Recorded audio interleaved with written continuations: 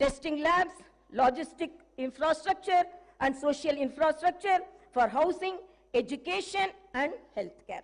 Even though the new government is only a few weeks old, the Honorable Chief Minister and Honorable Minister for Industries and Commerce and IT, IT and ENC successfully led a delegation to the World Economic Forum annual meeting at Davos, Switzerland, and got a very positive response from industry leaders. Over 40,000 crores is new investment were announced addresses on the government's vision for healthcare and agriculture to the esteemed delegates during the conference. MOUs were signed in the areas of renewable energy, life sciences, ma manufacturing, data manufacturing, data, cent data centers, food processing, IT, etc. Digital adoption is happening at a rapid pace in our society today. Telangana state not only needs to fully benefit from digital opportunities, but also become a leader in the country for new technologies. One of the most significant forthcoming initiatives of my government would be to introduce the internet as the basic right.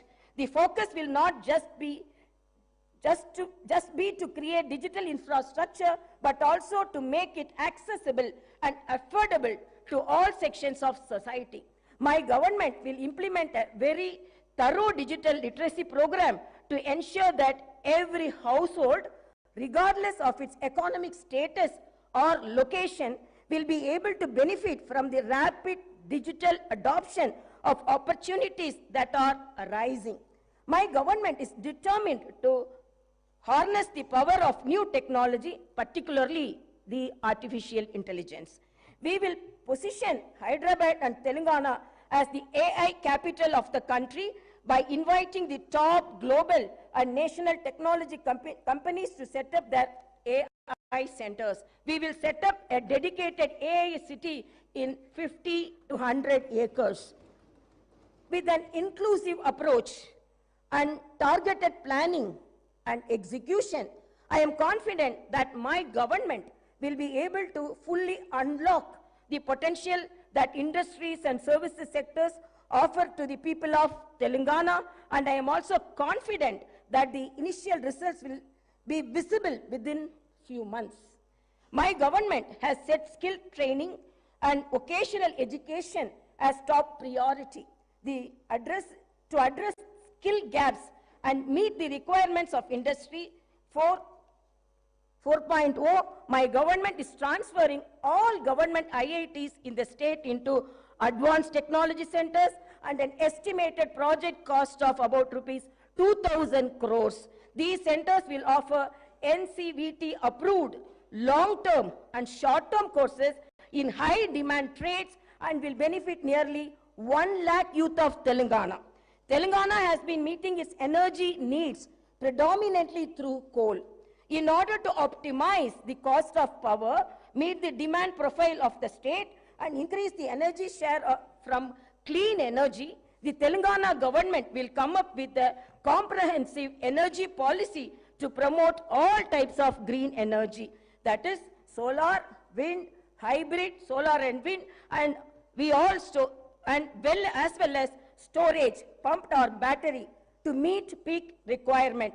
The government aims to improve the share of green energy significantly and reduce carb carbon emission by 2030. As we gather here to discuss the future trajectory of our beloved state, it is imperative to highlight the immense tourism potential that Telangana possesses.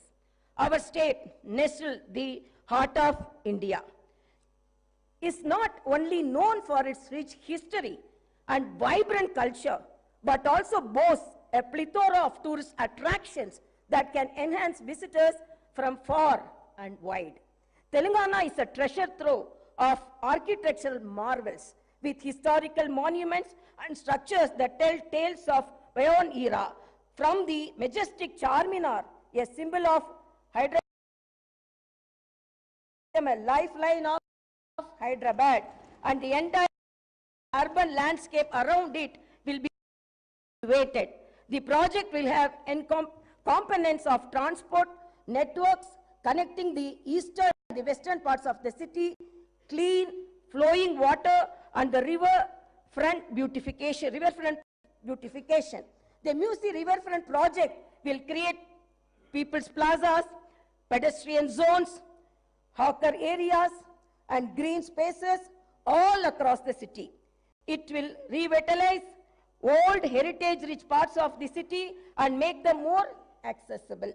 We are studying national and international model, models to onboard the best practices and teams to work on, the, work on this.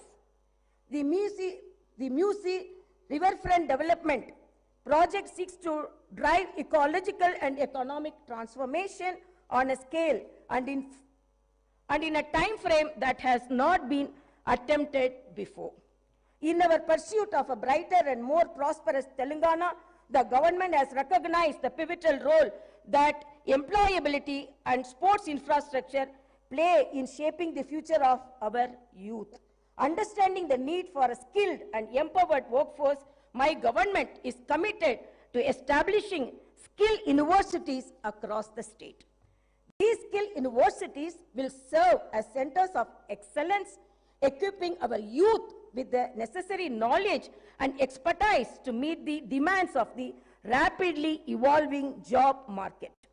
By focusing on skill development, we aim to bridge the gap between education and employment, ensuring that our youth are not just academically proficient but also industry ready.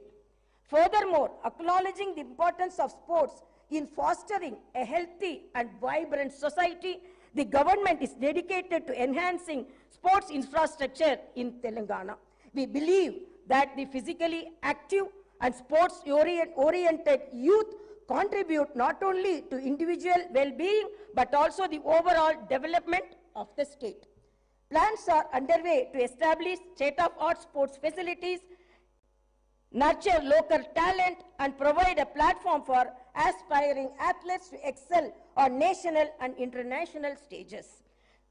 Through these initiatives, we aim to create a conducive environment for sports enthusiasts and pave the way for Telangana to emerge as a powerhouse in the sporting arena. As we invest in the establishment of skill universities and bolster sports infrastructure, we envision a Telangana where every young individual will be equipped with skills to thrive in the professional world and where sports become an integral part of our culture fabric. These endeavors align with our commitment to holistic development, ensuring that the youth of Telangana not only contribute to the economic growth of the state but also lead